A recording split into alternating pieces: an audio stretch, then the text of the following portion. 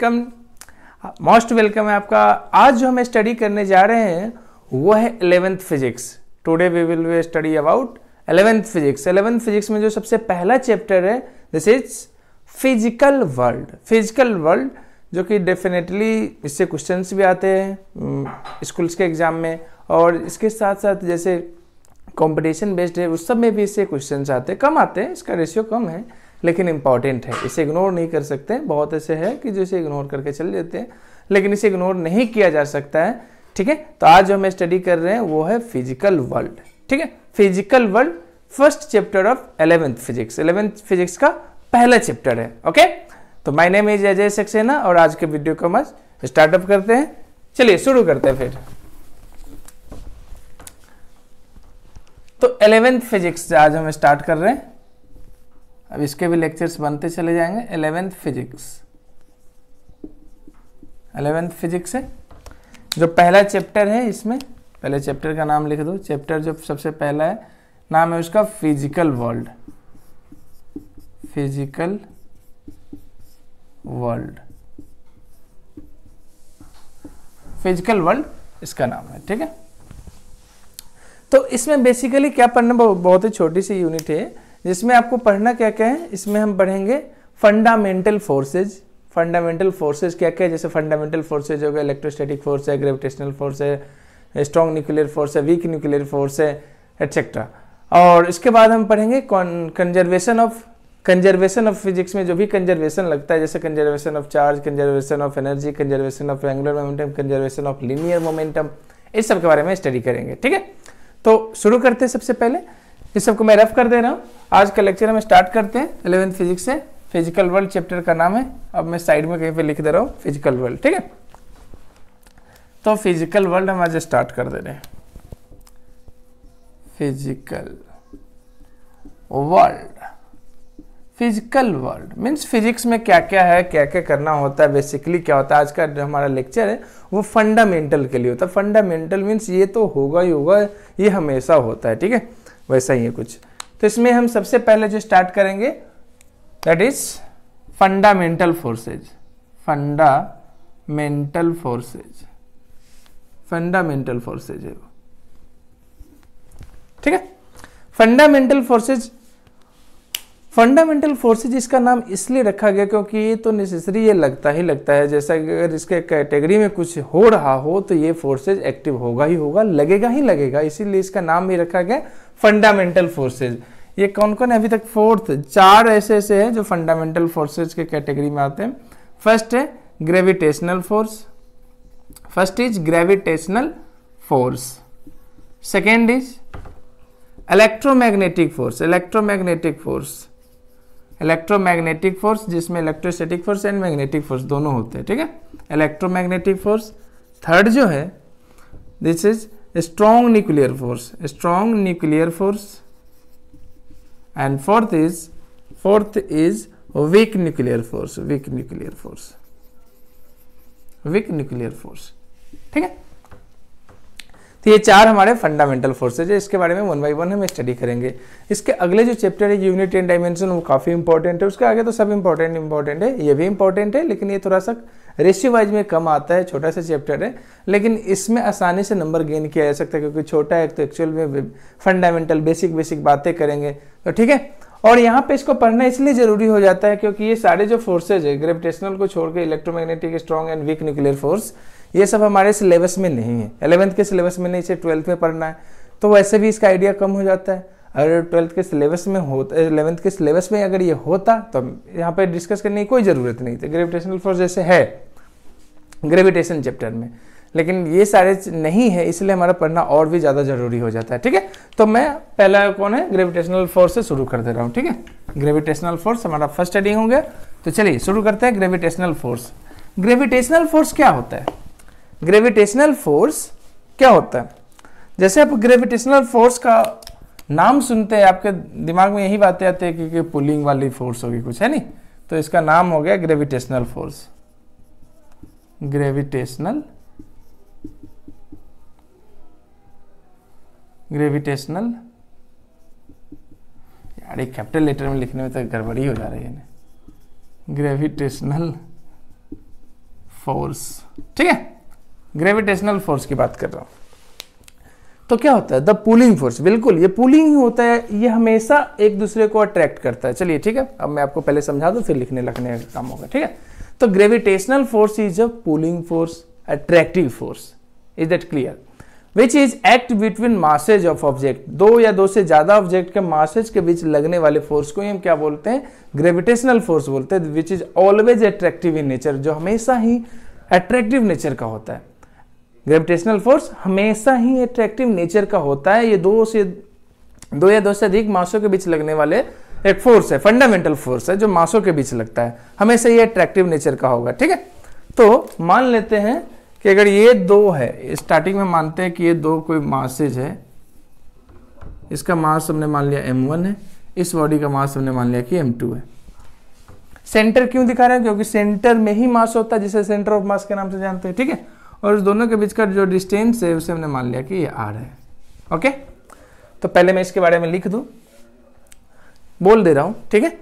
पहले के जो ग्रेविटेशनल फोर्स है, वो क्या होता है? सबसे बेसिक फोर्स है फंडामेंटल फोर्स है which is directly proportional to product of both masses gravitational force gravitational force को एफ़ से डिनोट कर दे रहा है, ठीक है? Gravitational force is directly proportional to product of both masses ये सर आइजक न्यूटन ने दिया था, उनके हिसाब से हम कर रहे हैं। Gravitational force is product of both masses and gravitational force is also inversely proportional to square of distance between both masses दोनों दोनों मास के बीच का जो डिस्टेंस है, उसके इनवर्स स्क्वायर को फॉलो करेगा। इनवर्स स्क्वायर को फॉलो करेगा।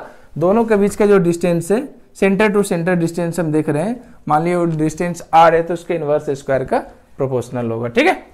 अब हम फ्रॉम फ़र्स्ट एंड सेकंड से क्या बोल सकते हैं? From first and second first and second से हम बोल सकते हैं F G is directly proportional to M one M two and inversely proportional of R square इसी को सॉर्ट आउट कर लेते हैं, ठीक है? F G is equal to क्या हो जाएगा? जब भी हम प्रोपोर्शनलिटी को हटा के इक्वल टू लगाना चाहते हैं तो उसके लिए कोई ना कोई कांस्टेंट आता है। और यहाँ पे वो कोई ना कोई कांस्टेंट क्या है? Universal gravitational constant universal gravitational constant मैं इसलिए बोल रहा हूँ ताकि क्योंकि ये जो लगने वाला है मीडियम से इंडिपेंडेंट होना है। यूनिवर्स के किसी भी स्टार, किसी भी प्लेनेट, किसी भी मिल्की वे, किसी भी सोलर सिस्टम में हम चले जाए, इसकी वैल्यू चेंज नहीं होने वाला है which is G M one M two upon R square ये हमारा ग्रेविटेशनल फोर्स का फॉर्मूला बन गया। G M one M two upon R square ये इसका यूनिवर्सल फॉर्मूला बन गया। F G is equal to G M N आप किसी भी सोलर सिस्टम में कहीं पे भी चले जाइए हमेशा वैलिड फॉर्मूला हमेशा वैलिड रहेगा ओके जल्दी से फटाफट नोट कर लीजिए इसे। इसे रफ कर दे रहा हूँ, आपने नोट कर लिया। चलिए मैं इसे फटाफट रफ कर दे रहा हूँ।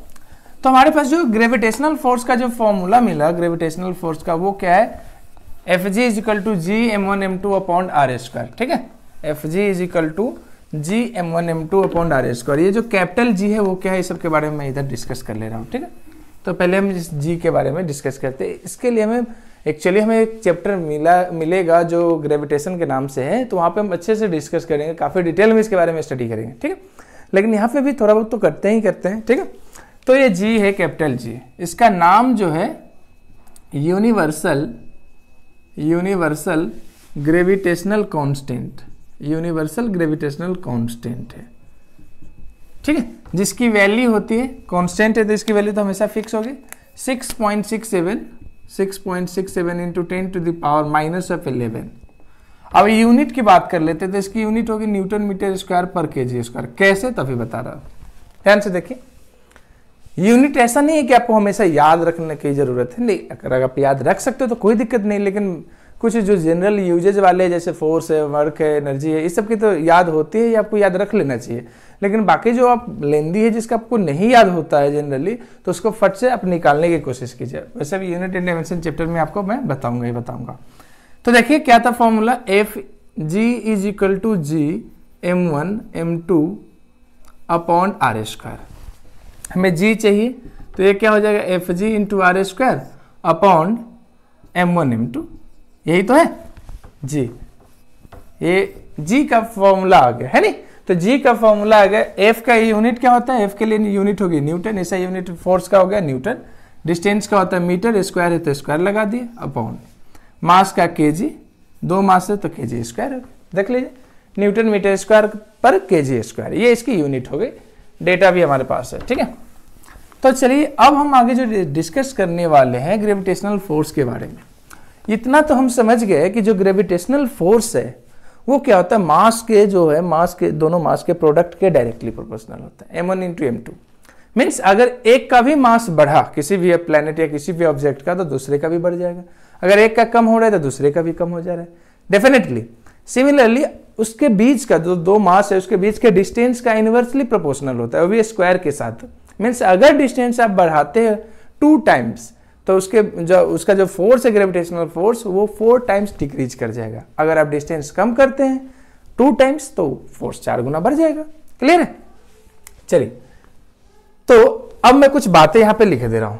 थोड़ा सा शॉर्ट टिक टाइप से, ताकि आपको मज़ा आ जाए, है नहीं? तो क्या है वो बातें? देखिए ध्यान से इफ़ मास इज़ कांस्टेंट अगर मास को हमने कांस्टेंट कर लिया मींस कहने का मतलब है m1 one into M two जो है, वो कांस्टेंट हो गया। ठीक है? ये स्पेशल केस टाइप से ही होगा कि अगर हमने मास को क्या कर दिया? कांस्टेंट तो उस केस में क्या होगा वो हम देख लेते हैं। देखिए मास को जैसे आप कांस्टेंट करोगे तो F2 मान लो तो सेकेंड ग्रेविटेशनल फोर्स अपन फ़र्स्ट ग्रेविटेशनल फोर्स का अगर रेशियो लोगे तो ये हो जाएगा R one upon R two का होल स्क्वायर डायरेक्टली आप इसे पुट कर सकते हैं। डायरेक्टली फटाफट. क्लियर है? F two upon F one का होल स्क्वायर आप कर दीजिए। मीन्स जैसे मान लो कि हमने मास के बारे में कोई डिस्कस नहीं करा, दो प्लेनेट है, ठीक है? दो प्लेनेट है, ठीक है? इसका मास मान लेते हैं, पहले कितना था? Two into ten to the power twenty K G इसका मास मान लेते three into ten to the power twenty K G मैं ये नहीं बोल रहा हूँ कि दोनों mass M one equal to M two ऐसा मैंने बिल्कुल भी नहीं कहा। मैंने बोला कि जो मास पहले जिसका था, आगे भी उसका वही मास है। लेकिन इसका डिस्टेंस पहले मान लेते हैं कि कितना था? टेन मीटर था दोनों के बीच का। टेन मीटर ये मानने वाली बात है प्लेनेट के बीच का टेन मीटर डिस्टेंस होगा नहीं फॉर वैसे ही वैसे ही मानने की बात है, ठीक है? अब क्या किया गया माँ, ये जो प्लेनेट उसमें कोई चेंजिंग नहीं किया, बस उसके डिस्टेंस में हमने चेंजिंग कर दिया। प्लेनेट का भी मास इधर थ्री इंटू ट्वेंटी बार ट्वेंटी है के में। इधर है two into ten to the power twenty के में। अभी भी इसका मास कोई चेंज नहीं हो रहा है। बट इसके बीच का जो डिस्टेंस है, उसको मान लो मैंने डबल कर दिया ट्रिपल कर दिया forty forty metre mean four times कर दिया। तो अब क्या है, इसके बीच जो ग्रेविटेशनल फोर्स होगा, उसके इफ़ेक्ट मुझे चाहिए। पहले जो ग्रेविटेशनल फोर्स लग रहा है तो मान लेते वो एफ़ है। वैसे निकाला जा सकता है। निकालने में हम टाइम पास नहीं कर रहे ठीक है? अब ये जो F2 होगा, वो हमें निकालना है। क्या होगा? तो डायरेक्ट हम पुट करके चेक कर सकते हैं। देख लीजिए।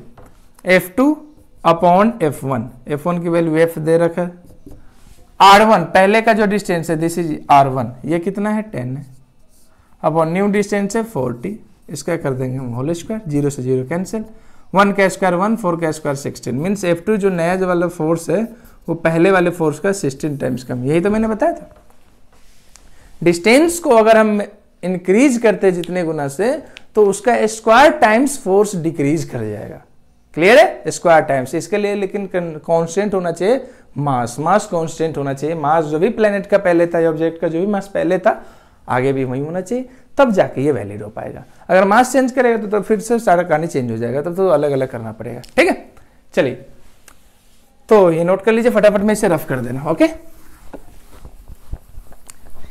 जैसे क्वेश्चन है कि अगर मैं इसी में ये बता देता कि अगर मान लीजिए कि पहले जो फोर्स लग रहा है दो प्लेनेट के बीच या दो ऑब्जेक्ट के बीच जो फोर्स लग रहा है which is hundred newton hundred newton है ठीक है? मैं और कुछ नहीं बता रहा हूँ बस अब क्या कर रहा हूँ कि आपके लिए मैं छोड़ रहा हूँ कि मान लो कि दो ये क्वेश्चन आपके लिए होमवर्क में हो गया, ठीक है?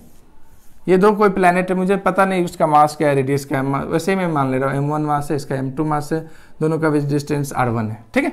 लेकिन अगली बार मैंने क्या करा, उसका जो प्लेनेट का मास था, उसमें तो कोई छेड़छाड़ नहीं करा, या ऑब्जेक्ट जो भी आप मान लीजिए, लेकिन जो आर आर टू है, जो नया रेडियस है, वो पुराने वाले का हाफ़ कर दिया, ठीक है? अब आपको वो न्यू फोर्स फाइंड करके न्यू ग्रेविटेशनल फोर्स फाइंड करके बताना है। चलिए, फटाफट बताइए। फटाफट आप कीजिए। अब आप बताइए कितना हुआ इसका फोर्स फोर्स कितना हो जाएगा? चलिए रफली बता दे रहा हूँ। रफली क्या होगा तो उतना ही। कौन सा इसने दे रखा है फोर्स कितना? है मान लेते हैं कि इसमें जो फोर्स था वो एफ़ वन था। इससे जो लगने वाला फोर्स दोनों प्लेनेट या ऑब्जेक्ट के बीच जो लग रहा है force this is F one F one हमने मान लिया, ठीक है? इसमें जो लगने वाला फोर्स है, इसमें हमने मान लिया कि F2 फोर्स है। क्लियर है? तब F1 है F2 की बात कर लेते हैं। तो लगा दीजिए short trick F2 two upon F1 is equal to F2 two इसलिए ऊपर रख रहा हूँ ताकि वही तो फाइन करना है हमें, ठीक है? तो R1 अपॉन R2 का होल स्क्वायर है। R1 पहले रेडियस क्या था? R1 ही था। लेकिन जो नया रेडियस है, वो पहले वाले रेडियस का क्या है? हाफ़ है। देख लीजिए। है या नहीं? स्क्वायर है। R1 से R1 हो गया। कैंसिल ये टू ऊपर जम कर जाएगा। तो F two upon F one two का स्क्वायर फोर। मीन्स ये इधर जाके मल्टीप्लाई हो जाएगा फोर एफ़ वन हो जाएगा नहीं? मीन्स एफ़ टू जो हमारा आ गया, वो क्या आ गया? फोर एफ़ वन मीन्स चार गुना बढ़ गया फोर टाइम्स इंक्रीजेस तो वही तो मैंने आपसे बताया था कि अगर डिस्टेंस डिक्रीज करेगा दिस टाइम अगर मान लो कि एक्स टाइम से वो डिक्रीज कर रहा है या कम हो जा रहा है तो फोर्स जो है टू एक्स टाइम से इंक्रीज कर जाएगा। मीन्स स्क्वायर टाइम से इंक्रीज कर जाएगा। ठीक है? क्लियर चलिए, अब आगे बातें करते हैं। अब कुछ इसके प्रॉपर्टीज़ के ऊपर कुछ कर लेते हैं डिस्कस वगैरह। प्रॉपर्टीज़ के ऊपर डिस्कस करते हैं, ठीक है? तो प्रॉपर्टीज़ ऑफ़ हेडिंग डाल लेते हैं properties of gravitational force some basic properties of gravitational force properties की बात करते हैं, ठीक है? प्रॉपर्टीज़ ऑफ़ ग्रेविटेशनल फोर्स ठीक है? तो क्या है इसके प्रॉपर्टीज़ देखिए, इसके जो प्रॉपर्टीज़ है, सबसे पहले जो इसका, सबसे जो जो बेसिक प्रॉपर्टीज़ है it is always attractive in nature gravitational force is always in attractive in nature जो ग्रेविटेशनल फोर्स हमारा है, जो अर्थ प्लैनेट या वगैरह सब पे लगते रहता है, सब पे लगेगा, ठीक है? Which is attractive in nature हमेशा हमेशा ऑलवेज अट्रैक्टिव इन नेचर होगा, हमेशा अट्रैक्टिव तो सबसे पहला जो हमारा पॉइंट बना, क्या होगा? It is attractive force attractive force in nature. It always attracted it always attract to another object another object towards itself towards itself खुद की तरफ़ हमेशा दूसरे को अट्रैक्ट करेगा it never be repulsive it never be they never be they never be repulsive repulsive. ये कभी भी रिपल्सिव नहीं हो सकता। क्यों नहीं हो सकता? है हमेशा अट्रैक्टिव ही क्यों होगा? बिकॉज़ देखिए, हम जो जानते हैं like charges repel each other unlike charges कभी मास के बारे में से सुना है कि like mass is attractive mass तो एक ही टाइप का होता है मास कभी दो टाइप्स का नहीं होता है। मास इज़ स्केलर वैसे चार्ज भी स्केलर है, लेकिन मास में कभी भी ये नहीं हो सकता कि प्लस माइनस का। जैसे मैं बता रहा हूँ कि मैं दुकान वाले के पास गया, ठीक है? मैंने बोला, भैया, दो के जी शुगर दे दो। तो मुझे दो के जी चीनी या शुगर दे देगा, ठीक है? लेकिन मैं उसे ये बोलूँ, भैया, माइनस दो के जी शुगर दे तो क्या देगा? थप्पड़ देगा और क्या दे सकता है? क्योंकि ज़ीरो के जी ऑफ़ शुगर का कोई रोल नहीं है। तो यहाँ पे माइनस का क्या रोल हो सकता है? माइनस तो एग्जिस्ट ही नहीं करेगा, ठीक है? तो वो बिल्कुल भी एग्जिस्ट नहीं करेगा, फंडामेंटली बिल्कुल भी एग्जिस्ट नहीं करेगा। लेकिन अगर आप चार्ज की बात करते हैं तो वहाँ पे वेरिएशन है। इलेक्ट्रॉन होने की वजह से नेगेटिव चार्ज है प्रोटॉन होने की वजह से पॉजिटिव चार्ज है। मीन्स इलेक्ट्रॉन कंजिस्ट करता है नेगेटिव को प्रोटॉन करता है पॉजिटिव को। तो उसकी वजह से वहाँ पे प्लस माइनस का अपना रोल है। लेकिन मास में ऐसा कोई रोल नहीं है कि आप पॉजिटिव एंड नेगेटिव दोनों कर सकते हैं। तो यहाँ पे तो हमेशा सेम ही मास होना है। और मास जो है, हमेशा दूसरे मास को अपनी तरफ़ खींचना चाहता है। हमारे ह्यूमन में भी यही होता है। जब हम किसी न्यू पर्सन को देखते तो हमारे में पहले अट्रैक्शन होता है। बाद में उसके बिहेवियर उसके फेस वगैरह को लेके भले से हमें रिपल्सन होने लग जाए रिपेल करने लग जाए, वो बात अलग है। लेकिन फ़र्स्ट ऑफ़ ऑल सबसे पहले अट्रैक्शन ही होता है और काफ़ी वीक होता है, इसलिए हमें पता भी नहीं चलता, ठीक है? ओके तो ये हमेशा कैसा होगा? अट्रैक्शन वाला फोर्स होगा। मान लेते ये दो है प्लेनेट कोई। एम वन एम टू दो प्लेनेट मान लिया पी वन पी टू मान लिया planet P one second planet is P two तो ये इसको अपनी तरफ़ खींच रहा होगा। इसे अपनी तरफ़ खींच रहा है। और ये वाला, इसे ये अपनी तरफ़ खींच रहा है। अब कौन किसे कितने अमाउंट से खींचेगा? It's depend on mass it's depend on mass जिसका मास ज़्यादा है, वो अपनी तरफ़ ज़्यादा उससे खींचेगा। लेकिन मास का तो दोनों प्रोडक्ट है। M one into M two दोनों का मल्टीप्लाई होता है। तो इससे डिपेंड नहीं करेगा कि कौन इसे अपनी तरफ़ खींच लेगा। खींचने वाली बात नहीं, क्योंकि दोनों के मास के हम प्रोडक्ट ले लेते हैं, ठीक है? तो पहला जो हमारा जो बेसिक था, सबसे फ़र्स्ट प्रॉपर्टीज़ वो क्या था हमारा? They are attractive in nature they are always attractive in nature हमेशा ये अट्रैक्टिव ही होता है रिपल्सिव कभी नहीं होता है ठीक है? ये फ़र्स्ट प्रॉपर्टीज़ था इसका। सेकेंड प्रॉपर्टीज़ की ओर हम मूव करते हैं। It is weakest force in nature ये बहुत ही वीक फोर्स है। वीक क्या? वीकेस्ट फोर्स है, सबसे वीक सेकेंड सेकेंड जो प्रॉपर्टीज़ है second properties is gravitational force is weakest in nature I mean weakest force in nature gravitational force is weakest force gravitational force जो हमारा है, वो काफ़ी कमज़ोर है। आप इसे रियलाइज़ भी कर सकते हो। जैसे मैं बोल रहा हूँ, हर ए अर्थ पे या अर्थ की अगर मैं बात कर लूँ तो हर जगह पे ग्रेविटेशनल फोर्स एग्जिस्ट कर रहा है। हर एक ऑब्जेक्ट को अपनी तरफ़ अर्थ अट्रैक्ट कर रही जा रही है। नहीं?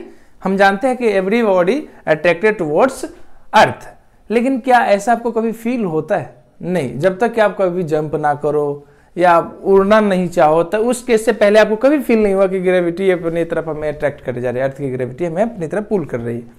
जैसे मूव करी, चलिए हम आ रहे, जा रहे हैं क्या कुछ पता चल रहा है कि कोई हमें खींच रहा है? नहीं। टुवर्ड्स अगर दूसरे से कंपेयर करें, जैसे इलेक्ट्रोस्टैटिक फोर्स है इलेक्ट्रिक करेंट की बात कर लेते हैं करेंट अगर अगर करेंट है, उस जोन में आप चले जाइए तो आपका अचार बन जाएगा। है या नहीं? हमारा भी बन सकता है, ऐसी कोई बात नहीं।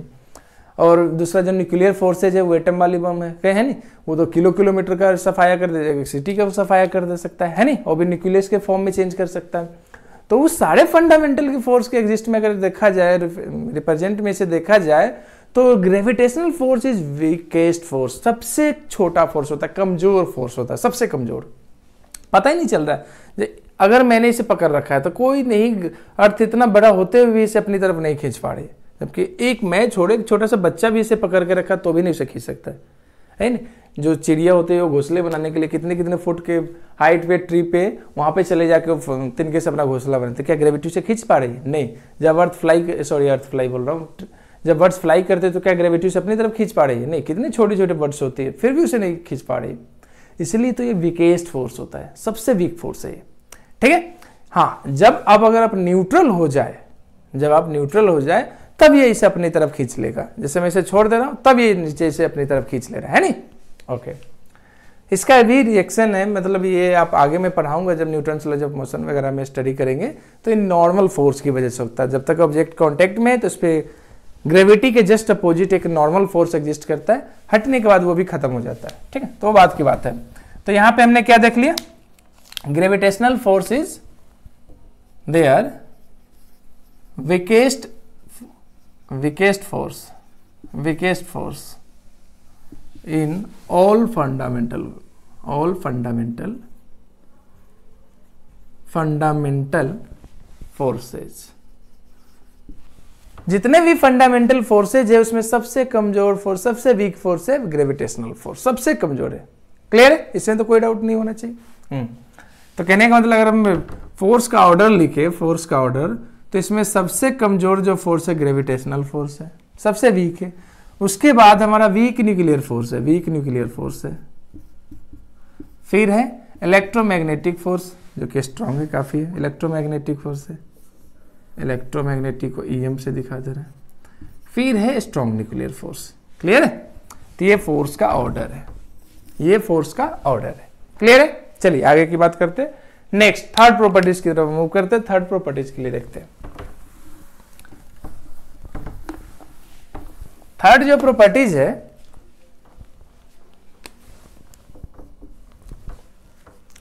it is line joining forces gravitational force is लिख दे रहा हूँ gravitational force gravitational force is line joining forces joining forces which is also known as, which is also known as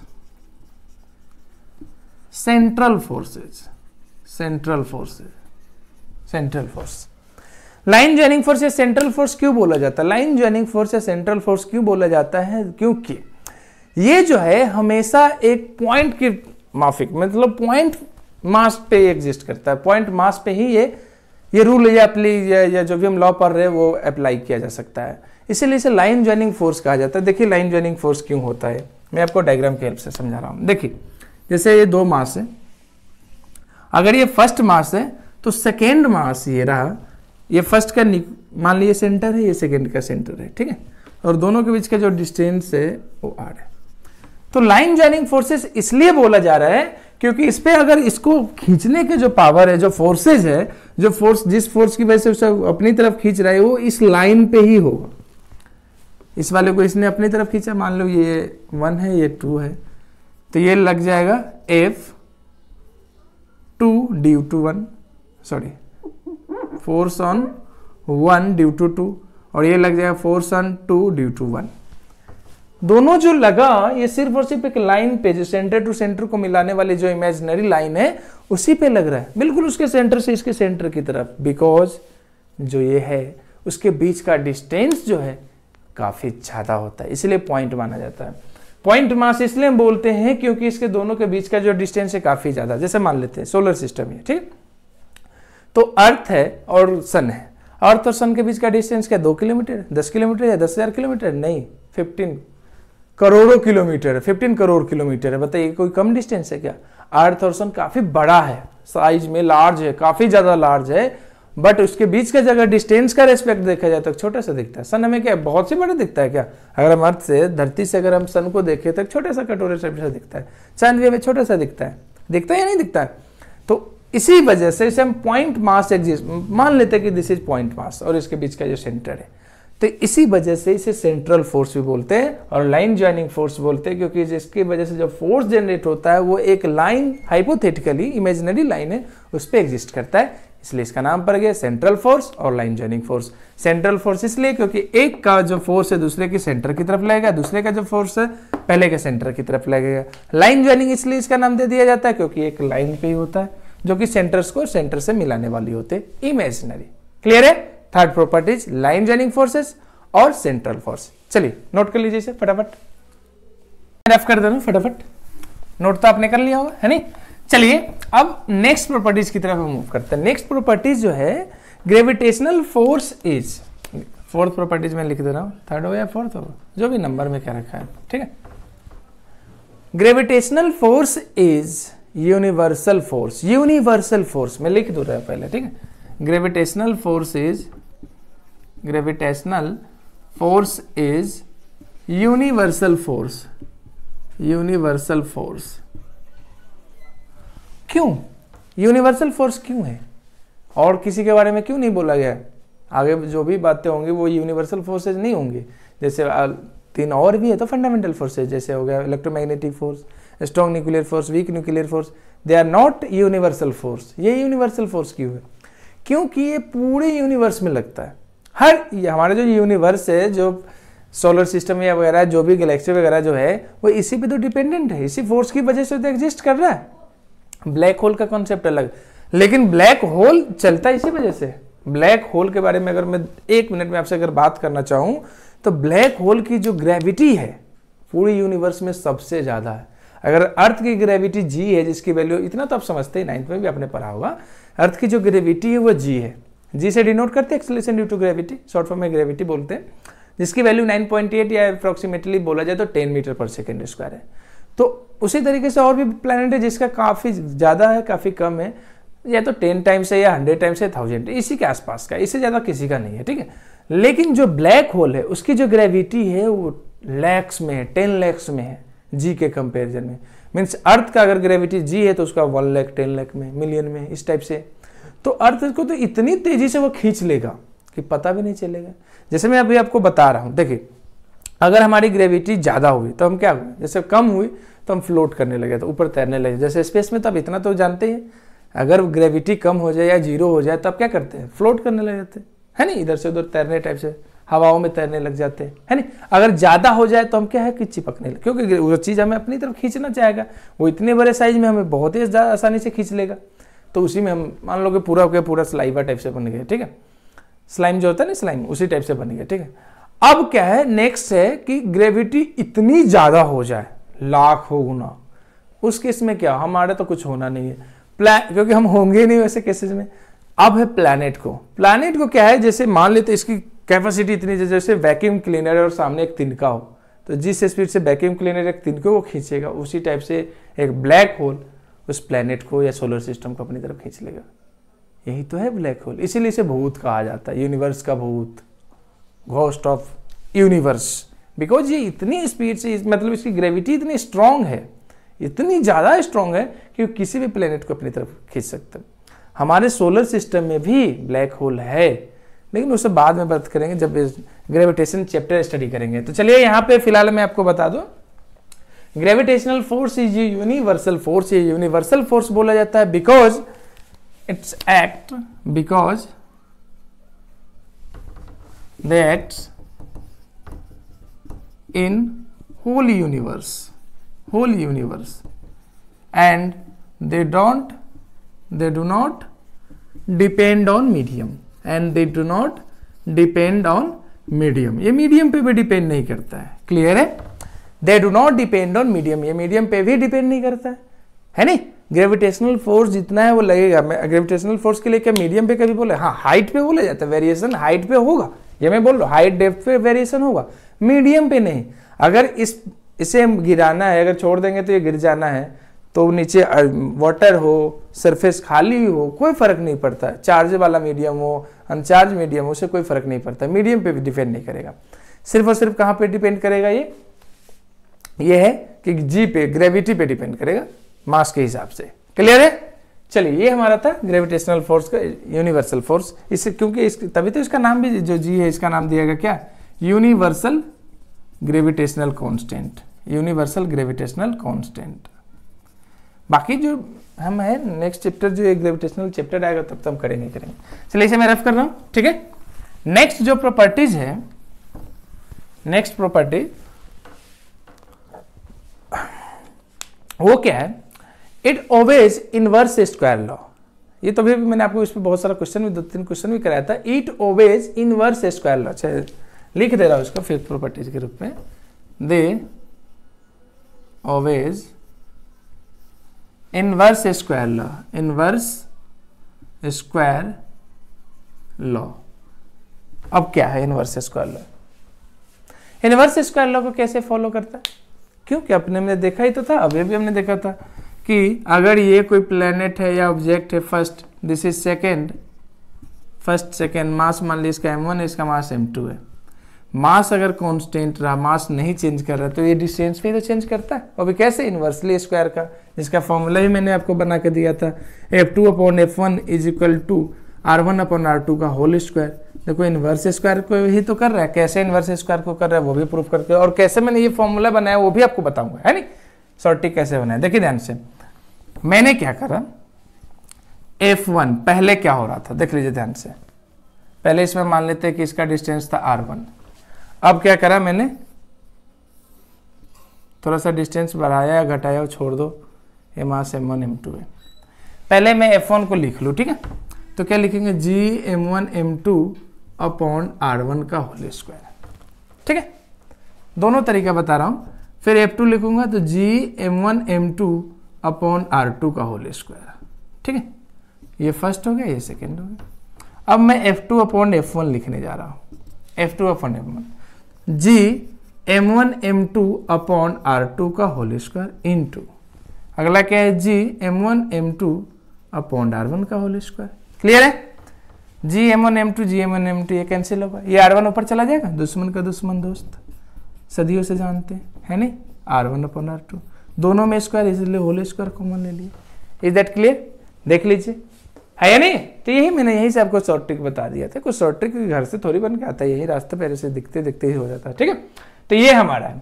अगर इनवर्स स्क्वायर से अगर आप चेक करना था, ये तो जनरली मैंने आपको बता दिया, अगर इनवर्स स्क्वायर से चेक करना चाहते तो वो भी बताता रहा। चलो इसे मैं रफ कर दे रहा हूँ। चलिए, मैं रफ कर दे रहा हूँ, ठीक है? अब देखिए इनवर्स स्क्वायर लॉ के हेल्प से करा रहा हूँ। देखो, मैंने क्या बताया कि एफ़ जी ये पहले मैंने नहीं मतलब न्यूटन साहब ने बताया था inversely proportional to distance between them का स्क्वायर है square of them gravitational force is inversely proportional to square of both masses दोनों मासेज के बीच के स्क्वायर का होता है, ठीक है? ये हो गया।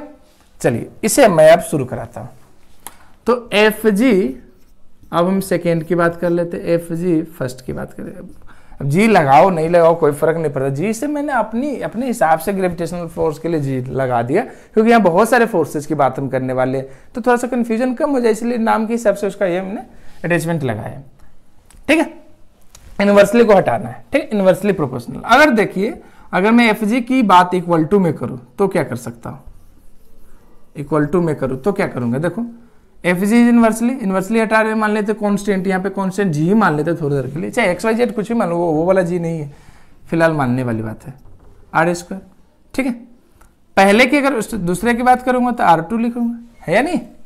इसमें एक देखे जी अपॉन आर वन का स्क्वायर लिखेंगे जी से जी फिर से कैंसिल ये आर वन फिर से ऊपर चला जाएगा। आर वन का स्क्वायर अपॉन आर टू का स्क्वायर घूम फिर के वो फिर से यहीं आ जा रहा है, जहाँ से हमने शुरू कर। ये सुनो इसीलिए कहा जाता है gravitational force is obeys inverse square law gravitational force obeys inverse square law inverse square law को ये फॉलो करता है। मीन्स कहने का मतलब अगर डिस्टेंस आपने टू टाइम्स इंक्रीज कराया तो आपका जो फोर्स है, वो फोर टाइम से डिक्रीज कर जाएगा। अगर डिस्टेंस आपने फोर टाइम से कम कराया तो जो फोर्स है, वो 16 टाइम से इंक्रीज कर जाएगा। Square not two times square से ये इंक्रीज डिक्रीज करेगा। क्लियर है? चलिए। अब नेक्स्ट जो प्रॉपर्टीज़ है, वो क्या है? मैं इसे रफ कर दे रहा हूँ, ठीक है? नेक्स्ट जो प्रॉपर्टीज़ है ग्रेविटेशनल फोर्स की they obeys superposition theorem. They obeys superposition theorem. क्या होता है सुपरपोजिशन थ्योरम? चलिए। they obeys superposition theorem superposition theorem. अब क्या है ये सुपरपोजिशन थ्योरम? ठीक है? तो ऐसा बताया गया ग्रेविटेशनल फोर्स के बारे में कि अगर दो मासेज है, ठीक है? तो उसके बीच जो फोर्स लग रहा है, वो अदर मासेज अदर ऑब्जेक्ट के प्रेजेंस या इन प्रेजेंस पे कोई इफ़ेक्ट नहीं पड़ता। अगर दो मासों के बीच हमका, हमें उसका क्या निकालना है? ग्रेविटेशनल फोर्स फाइंड करना है तो वे इस पर डिपेंड नहीं करेगा कि थर्ड कितने थर्ड पार्टिकल मीन अदर कितने पार्टिकल्स और है, कितने ऑब्जेक्ट या अदर कितने प्लैनेट्स वहाँ आसपास में है, या दूर में है। या है भी या नहीं है, इससे उसका कोई लेना देना नहीं है। दो को देखना है, बस। मैं और मेरा टारगेट ऐसे ही बोल रहा हूँ। मैं और मेरा टारगेट बस इसी पास पास क्या है, नहीं है, वैसा कुछ नहीं line to line centre to centre देखना, बस बस बस बस बस। वहीं वहीं, जैसा मैं दिखा रहा हूँ। अगर किसी पे डिपेंड नहीं करने से रहा, होगा तो भी वाला नहीं होगा तो भी वाला क्योंकि उस पर डिपेंड ही नहीं करना है हमने। तो चलिए, मैं दिखा रहा हूँ। जैसे सुपर पोजिशन थ्योरम यही बोलता है कि gravitational force is only depend on two masses either presence और absence of another message और एन अदर ऑब्जेक्ट इससे उसका कोई रोल नहीं चलेगा। लिख दे रहा हूँ। According to superposition theorem superposition theorem gravitational force gravitational gravitational force is only depend on only depend on depend on two masses. Two masses of object. It not depend on child don't depend on depend on either presence or absence of another message. Another message. और object और object ठीक है? ये superposition theorem से बोला गया कि जो ग्रेविटेशनल फोर्स है, वो सिर्फ़ और सिर्फ़ टू मासेज के ऑब्जेक्ट या टू ऑब्जेक्ट के मास पे ही डिपेंड करता है। आइदर अदर है या नहीं है, उस पर बिल्कुल भी डिपेंड नहीं करेगा। ठीक है? जैसे मैं एक डायग्राम से आपको समझाने की कोशिश कर रहा हूँ। जैसे ये मान लो हमारा अर्थ है। ये हमारी धरती माता है। क्या है? अर्थ है। यहाँ पे मान लो सन है। ये है मार्स ऐसे ही रफली ऐसा मत समझ लें कि मैं सोलर सिस्टम को उल्टा सीधा करे जा रहा हूँ। ऐसा कुछ नहीं मैं बना रहा हूँ। ये मान लो कि ये मार्स है, ये जुपिटर है, ये सैटर्न है। ये अल्लू अर्जुन है। कोई प्लेनेट एक्स वाई जेड मान ले रहा हूँ। ये एनटीआर है, मान ले रहा हूँ ऐसे ही। ठीक है? अगर ये ऐसा है अगर मुझे अर्थ और सन के बीच का ग्रेविटेशनल फोर्स फाइंड करना है, इसके बीच का सिर्फ़ ग्रेविटेशनल फोर्स फाइंड करने में मैं इंटरेस्टेड हूँ तो इस सब के होने ना होने से की तरफ़ देखना भी नहीं। मान लो कि मैंने इसे इसको घेर दिया, सुरक्षा कवच दे दिया, इस सब का होगा नहीं होगा कुछ फ़र्क नहीं पड़ता। है अल्लू अर्जुन हो, ना हो कोई फ़र्क नहीं पड़ेगा जुपिटर, मार्स, सैटर्न हो, ना हो कोई फ़र्क नहीं पड़ेगा। ऐसे है? कोई फ़र्क नहीं पड़ रहा। इसके ग्रेविटेशनल फोर्स में इस सब का कोई रोल नहीं होगा। हाँ अगर मैं अगली बार जुपिटर मार्स पे ऐसे इसके बीच निकालना चाहूँगा तो इसका अदर से किसी का कोई लेना देना नहीं। अगर मैं इस दोनों के बीच निकालना चाहूँगा तो अदर किसी और का कोई लेना देना नहीं होगा। मीन्स जिस दो के बीच में निकालना चाह रहा हूँ ग्रेविटेशनल फोर्स सिर्फ़ उसी दोनों पे आपको ध्यान देना या ये ऐसा ही होता है। क्लियर है? चलिए, अब नेक्स्ट प्रॉपर्टीज़ की तरफ़ मूव कर रहे हैं। नेक्स्ट प्रॉपर्टीज़ क्या है? पहले इसे फटाफट आप मैं रफ कर दे रहा हूँ। आप पॉज कीजिए नोट कीजिए। ओके अब क्या नेक्स्ट प्रॉपर्टीज़ की ओर हम बढ़ते हैं। सेवेंथ प्रॉपर्टीज़ जो है। और वो है gravitational force is conservative force in nature gravitational force is conservative force conservative force होता है। कंजर्वेटिव मीन्स ये कॉन्स्टेंट टाइप से होता है। जिससे मीन्स पहले जैसे मास का कंजर्वेशन हम करते हैं ना, उसी टाइप से इसका भी कंजर्वेशन किया जा सकता है। Because they don't depend on medium क्यों नहीं हम कर सकते हैं? मीडियम पे डिपेंड करेगा, तभी तो ये चेंज हो जाएगा। अगर हमने पहले जो चीज़ रखा, वो बाद में वो सेम ही सेम होना है। बिकॉज़ जैसे मैं आपको करके दिखा रहा हूँ, ठीक है? Gravitational force is conservative force conservative force because मैं लिख दे रहा हूँ। Because they do not depend on because they do not depend on पहला ये रीजन है दे डू नॉट यहाँ से लिख रहा हूँ। They do not depend on medium first reason ये हो गया। सेकेंड जो रीजन है mass is also conservative mass is also conservative conservative in nature अब देखो एक बात बता रहा हूँ। एक प्लेनेट से दूसरे प्लेनेट के बीच का जो डिस्टेंस है वो सेम है। हम उस प्लेनेट के बीच का डिस्टेंस चेंज नहीं कर रहे हैं। ठीक है? माँ, ये फ़र्स्ट प्लेनेट है, ये सेकंड प्लेनेट है। इसके बीच का डिस्टेंस फिक्स कर दिया, हमने चेंज नहीं करा। मास चेंज कर हो नहीं रहे अपने आप तो मास चेंज हो नहीं जाएगा, है नहीं? मास प्लेनेट का कैसे खत्म कर दोगे आप? तो नहीं खत्म कर दोगे मास वैसे ही मास कंजर्व होता है। Mass can never be created not be destroyed आप ये जानते हैं। तो ये नहीं किया जा सकता तो ग्रेविटेशनल फोर्स पर चेंज किस वजह से होगा? जी की वैल्यू यूनिवर्सली कांस्टेंट है, ये तो कभी किसी भी यूनिवर्स में खत्म ही नहीं होगा कभी चेंज होगा ही नहीं। मास अब पहले से कांस्टेंट होता है, आप जानते हो मास क्या होता है?